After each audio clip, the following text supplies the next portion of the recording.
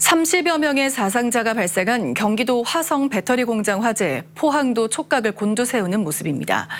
리튬 배터리는 특성상 초기 진화가 쉽지 않은 데다 3, 4년 전부터 포항에 2차 전지 기업이 대규모 공장을 짓고 있기 때문입니다. 박성아 기자입니다.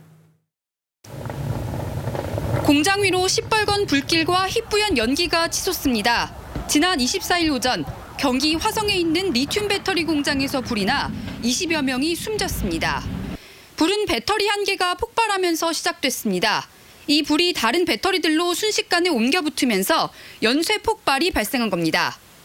리튬은 고온에 노출되거나 수분과 접촉하면 폭발 반응이 발생할 수 있습니다. 재충전이 가능한 2차 전지는 충전과 방전 과정에서 폭발 위험이 더 커집니다.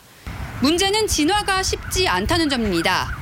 리튬 같은 금속에서 발생한 화재는 물이나 일반적인 소화기로는 진화가 힘들기 때문입니다.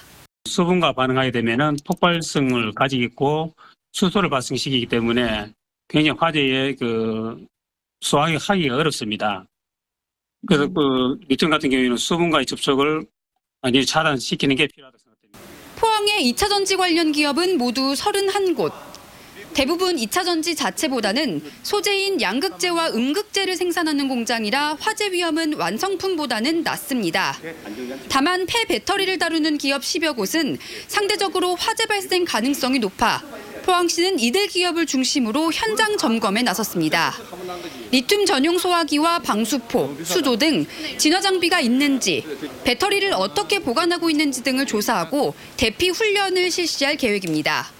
화재 발생 가능성은 낮지만 혹시 모를 상황을 미연에 방지하고자 현장 점검을 실시하고 있습니다.